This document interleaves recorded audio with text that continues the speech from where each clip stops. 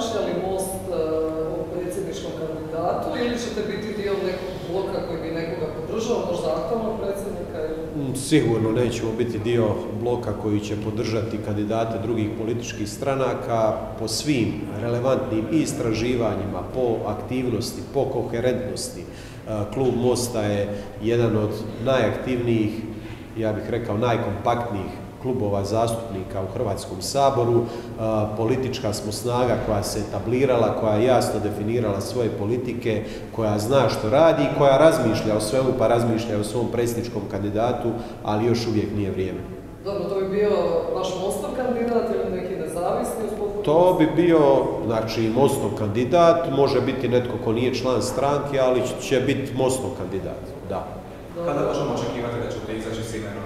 E, Plan je, dakle, predstavili smo sada deklaraciju u kojoj smo jasno definirali svoje politike i svoje vrijednosti. E, Trenutno radimo jačanje i na terenu same stranke, a negdje do devetog mjeseca planiramo izaći s kandidatom za premijera. Nakon toga ćemo definirati, dakle, i europske izbore i samog predsjedničkog kandidata.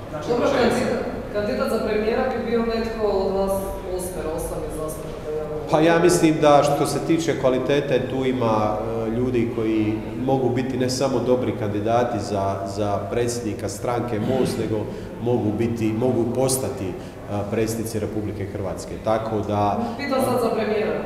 a za premijera e, sigurno, dakle, bit će netko iz kluba zastupnika MOST. Biste li vi htjeli to?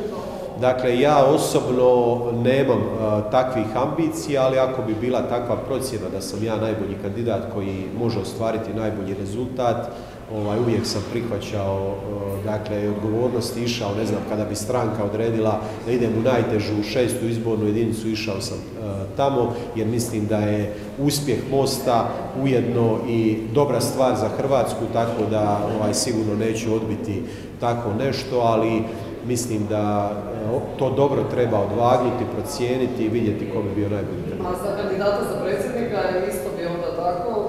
Pa dakle, nismo, re- rekao sam, nisam razmišljao osobno, predaleko su, ima još e, puno vremena do predsjedničkih izbora.